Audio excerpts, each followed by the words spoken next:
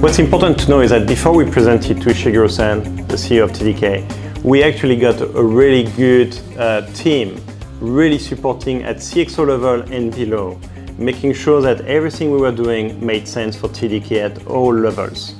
In the investment committee, we managed to get the best possible investment committee with our EVP of corporate planning, our CFO, and our CTO. And the three are basically the best proxy for making sure that the TDK strategy is completely aligned with any investments we're going to make.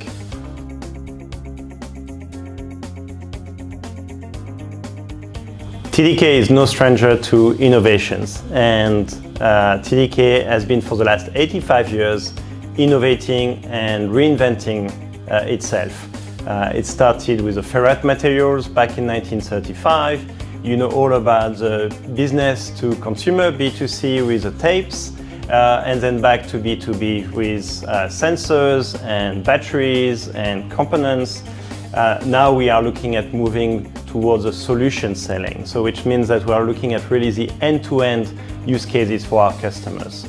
So when we looked at TDK Ventures as a corporate VC of TDK, it was all about making sure that we understand what markets we want to get into, which we are not in today, with technologies we don't have today, but we want to understand how they could help our customers bring, um, make them more successful. At TDK Ventures, we are really uh, keen to help entrepreneurs. So in a way, we see the entrepreneurs as our customers. We want to make sure that it's not just capital that we are uh, bringing to them, but actually a lot of what we call TDK goodness, which is like a Chinese menu of services and help we can provide, and they can decide over time which ones they want and which ones they don't need. Uh, very recently, we had our first portfolio company having a kickoff meeting where we had more than a dozen teams in TDK coming and pitching what they could contribute to the startup.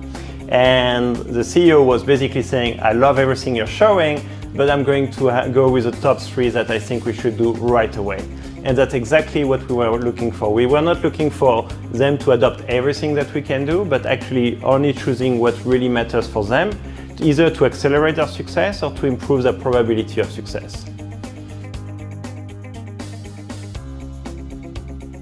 You're asking about the five steps to corporate VC. I don't know them. Uh, it's, it's, it's actually about the reason why you want to do it. What is the goal?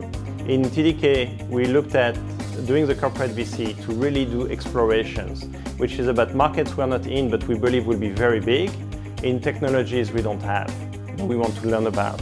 And so as a consequence, we really designed the corporate VCs around very fast decision making to invest in startups that would help us in the exploration phase. That's not something that's five steps, and actually along the way of proposing this corporate VC, we received many no's. And so my guidance for anyone that wants to build a corporate VC inside a company that does not have one is to really take every no as an opportunity to ask why. Why does it not work? Is it because of the goals? Is it because of something that's much more logistics? And understanding these no's are very important to actually refine the design of the corporate VC to the point where it becomes a yes.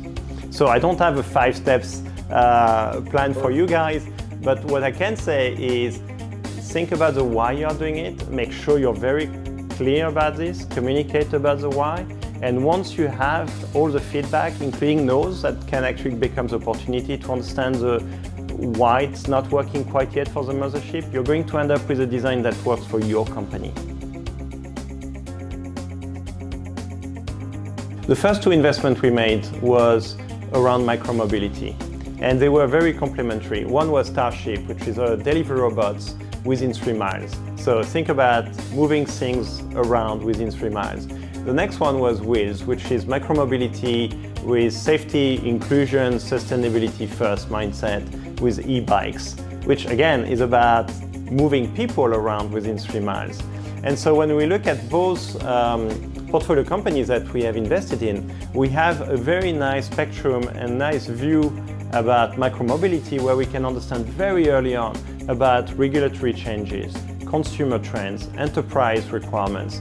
And, and with this view, we may actually have a lens of five years ahead versus waiting for this market to develop and then we have to react quickly.